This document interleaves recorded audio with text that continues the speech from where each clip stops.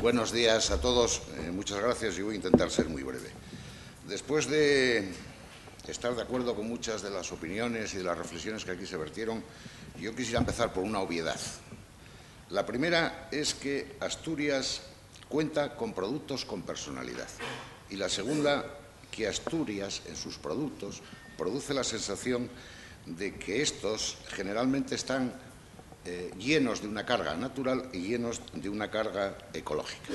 Esto, si alguien busca en cualquier operación económica algo en que poder desarrollarse y en poder potenciarse, es en la tenencia de productos con estas dos características. Tenemos lo principal. ¿Qué nos falta? Nos falta potencialidad de comercialización.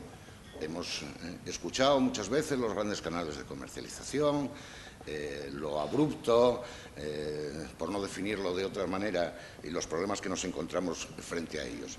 Pero en cualquiera de los casos lo que tenemos que hacer es ser lo suficientemente hábiles y dotarnos de herramientas de, comercialización que nos permitan llegar a los mercados de la manera más adecuada. Tenemos productos de valor añadido. No podemos eh, exclusivamente centrarnos en que nuestros productos solo se pueden basar en precios competitivos, en precios con grandes producciones para abaratar eh, todos esos procesos. Nosotros tenemos personalidad en nuestros productos.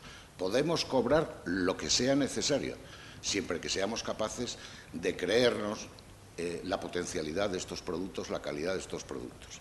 Es curioso como que cada persona que viene de fuera, más allá de las fronteras de Asturias, todo el mundo los acepta eh, como válidos, todo el mundo los acepta como nobles, todo el mundo los acepta como apetecibles pero quizá a los que nos falta eh, creérnoslo es a nosotros. Por eso decía que son dos obviedades, todo el mundo lo sabemos.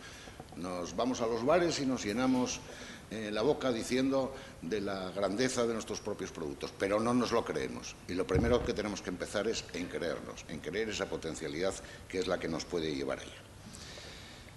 Es cierto entonces que estamos ante eh, productos con sobrada aceptación y escasa producción. ¿Eso qué es lo que nos permite? Lo que nos permite es un, desarrollo enorme en el próximo tiempo. Yo creo que hay otra variable que tenemos que ser conscientes de ellas. Asturias, por su realidad minifundista, imprime carácter a sus gentes, a, lo que es la potencialidad de nuestras creencias, a lo que es nuestra forma de desenvolvernos. ¿Qué tenemos que hacer hincapié? La única forma de vencer esa mm, debilidad de alguna manera es la cooperación, es el saber unirnos, es el saber coordinarnos, es el saber que no podemos estar a los vaivenes de los excesos de producción en sentido, en, perdón, en sectores o en subsectores que están completamente plagados. Tenemos capacidad de crear nuevos productos, somos capaces de defendernos. Yo simplemente quiero poner un ejemplo. Yo fui testigo de excepción cuando en esta Asturias nuestra, apenas hace 50 años, cuando apareció la raza frisona, eh, no nos creíamos muy bien esa potencialidad. 50 años después estamos exportando genética a la cuna del Holstein. Eso quiere decir que sabemos hacer las cosas. Lo que no somos capaces es de identificarlas. Muchas veces hablamos de cuál es la pérdida de nuestro número de explotaciones, pero no me vale con los números de explotaciones. Los números son herramientas. Lo que tenemos que ser capaces es de saber cuál es eh, número adecuado en función de su tamaño adecuado, en función de la infraestructura eh, necesaria para que eso se lleve por delante. Por lo tanto, es importante el papel que pueden jugar eh, instituciones como RIDER, que de alguna manera lo que nos están haciendo es potenciar coordinación, potenciar transferencia de, de capacitación técnica y de formación específica.